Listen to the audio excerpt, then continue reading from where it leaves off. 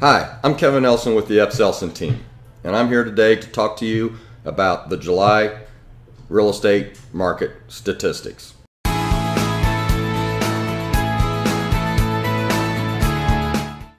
Hi, I'm Kevin Elson with the Epps Elson Real Estate team, and I'm here today to talk to you about the uh, July real estate market statistics. And if you're looking to buy or sell a house, uh, please click on the appropriate link and we'll be happy to uh, follow up with you. So, July statistics uh, the market is really hot right now. It is uh, pretty awesome. So, if you're thinking about putting your house on the market, really now is the time to do it. For the month of July, there was an increase of 31% of the listings sold, uh, which is very strong for the summer months. Uh, the average sales price for July went up 7% um, to 187,000. Uh, that's a strong increase too as well.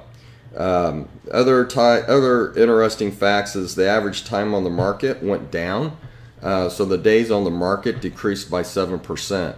So the buyers were making pretty quick decisions uh, in the month of July, and in the month of June nationally, the was um, the quickest time houses have sold in the history of keeping track of the number of days on the market, which was 45. So the market is not only good locally, but it is also very good nationally too as well. Um, average time on the market uh, dropped five percent, and uh, there is a five-month supply of inventory on the marketplace right now. And what that basically means is that it's a balanced market with buyers and sellers out there. So the market is really great if you're thinking about selling um, and putting your house on the market, now is the time to do it because people are out there still making decisions.